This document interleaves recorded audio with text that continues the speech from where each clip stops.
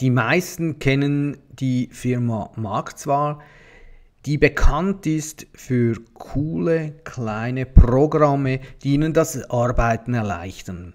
Viele kennen sehr wahrscheinlich Quark to InDesign, wo man Quark-Dokumente in InDesign öffnen und diese editieren kann. Flycheck kennt man, um die ähm, Dokumente checken. Dann gibt es Marktwar Tool, es gibt Utilities, die kann man gratis runterladen und File Recovery.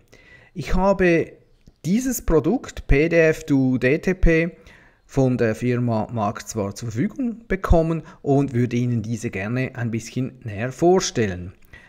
Hier können Sie weitergehen und Sie sehen neu oder relativ neu äh, ist bei Markt zwar auch das Abo-Modell, also Sie bekommen diese Software für 199 Euro und das geht dann äh, ein Jahr.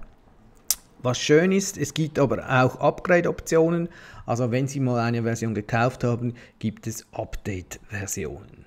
In den nächsten äh, Filmen werden wir das anschauen, was das, das alles kann. Sie sehen, es wird sehr gut bewertet und ich glaube, die Bewertungen sind richtig.